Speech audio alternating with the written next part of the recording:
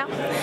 Eh, Kystvakten eh, har jo gjennom overvåkning og kontroll de siste ukene eh, avdaget flere tilfeller av eh, ulovlig utkast eh, fra garnbåter i torskefiske utenfor Lofoten eh, og Vesterålen. Eh, hva, hva tanker gjør du deg om denne dumpingen? Er det et større problem enn man har antatt tidligere? Det som eh, Kystvakten har vært veldig tydelig på nå, er jo at de har avdekka og eh, observert helt konkrete tilfeller. Om omfanget er stort eller eh, hvor stort det er, det er det jo litt vanskelig å si. Det som vel er budskapet både fra Kystvakten og oss, er at dette her er totalt uakseptabelt. Det er det å kaste fisken over bord. Det er både gir et feil ressursuttak, og det er en faktisk sløsing med ressursene. Så eh, generelt så prøver en jo å jobbe med det som går på å unngå å få fisk som eh, en deretter ønsker å kaste over bok. Altså redusere insentivene til utkast har vært en viktig del av den norske utkastpolitikken opp gjennom årene. Men eh, nå, Her er jo kanskje redskapet litt problemet. da. Det har jo vært eh, snakket mye om kvalitet i forbindelse med garnfiske.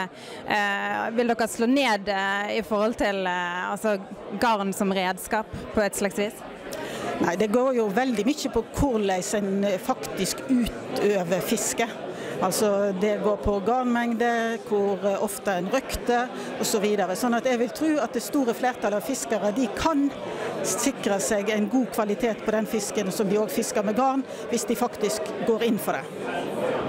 Men eh, Hva kan forvaltningen gjøre i forbindelse med denne her dumpingen, eller hva gjør Fiskeridirektoratet nå eh, opp mot Kystvakten? Eh, er dere innblandet der på et vis? Nå er det jo Kystvakten som har hovedansvaret for å utøve kontroll på havet.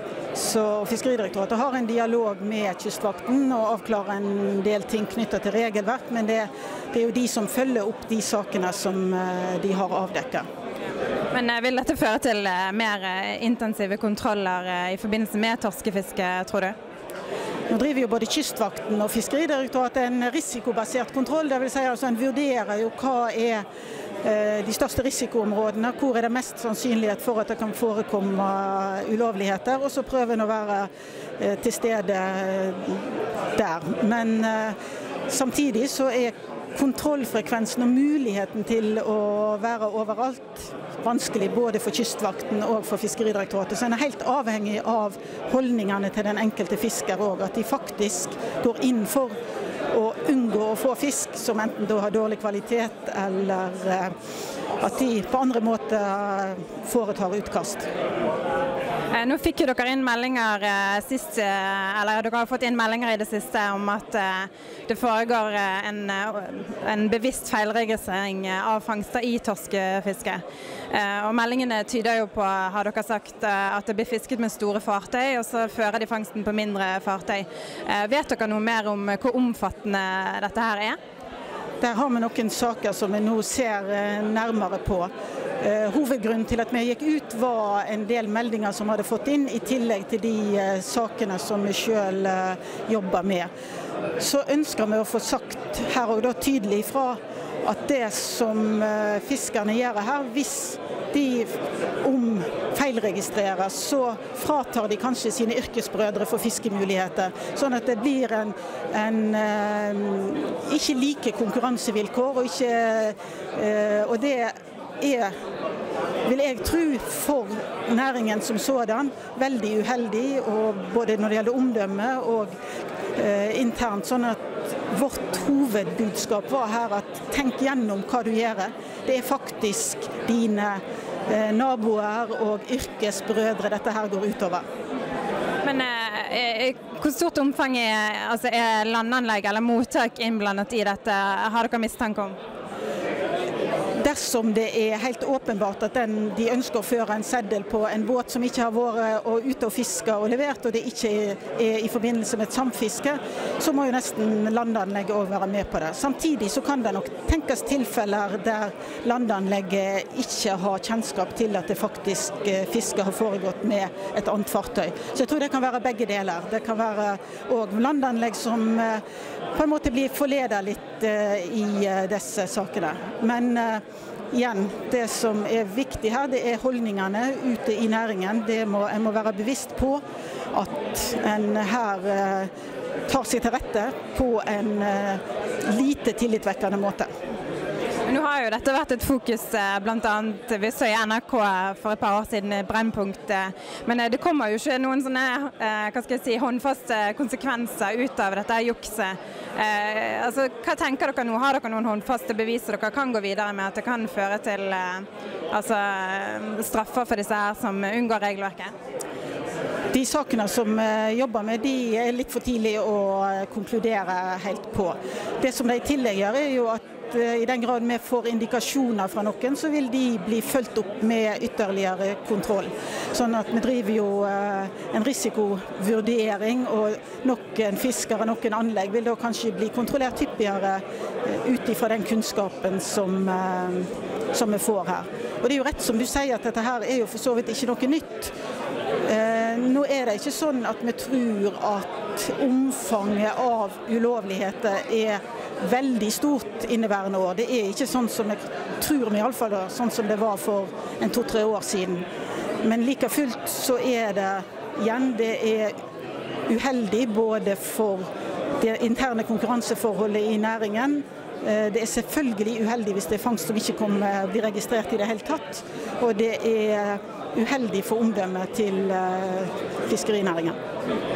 Men er det tilfredsstillende det å ta i bruk sånn som denne kystfiskeappen, der de skal registrere fangster før de lander det til kai, og landingsforskriften og alt dette dere prøver på en måte å eh, innføre for å på en måte unngå juks og sånn, er det tilfredsstillende, eller trenger man rett og slett at det står folk på kaien og kontrollerer når båtene kommer inn?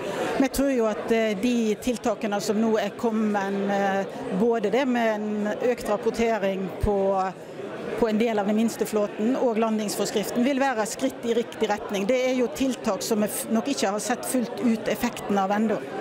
Og Hensikten med de er jo å redusere litt handlingsrommet for å omgå regelverket.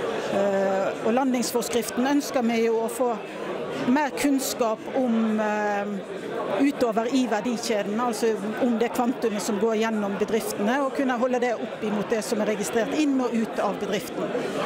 Og disse på en måte nye verktøyene de uh, har vi nok som sagt ikke helt sett effekten av ennå, så vi håper jo på at det skal uh, være et viktig bidrag til å få en litt mer fremtidsretta kontroll enn det å stå og observere den enkelte landing.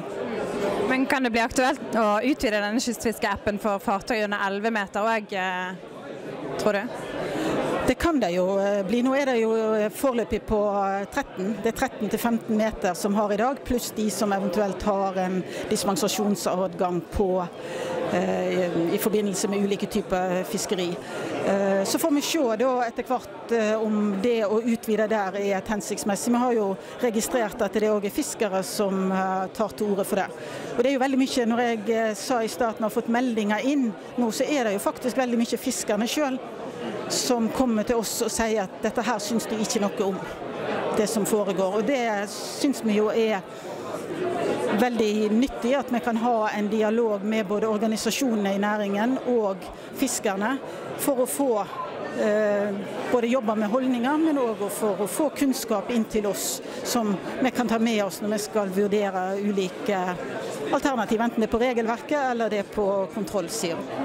Men akkurat når det gjelder dette med samfiske. Eh så er det jo eh, Har vi hørt rykter om at eh, altså det finnes sånne her papirbåter. Der, altså at, at de samfisker med seg sjøl, men det finnes ikke noe båt utover enn det som står på papiret. Er dette noe du har hørt?